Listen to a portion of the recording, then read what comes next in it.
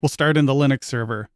We have options to connect under Connect, or we can get there from the drop down menu in the overview page. We'll connect via Bastion.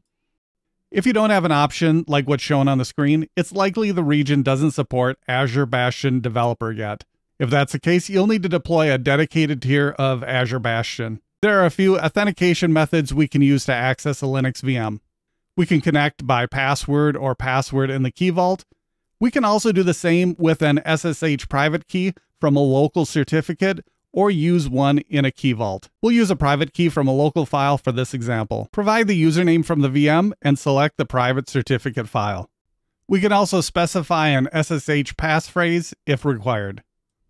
Notice at the bottom of the page, there's an option to deploy a dedicated Azure Bastion. That's for the basic, standard, or premium tier. We use the developer tier for this example. Let's leave open in a new browser tab selected and connect.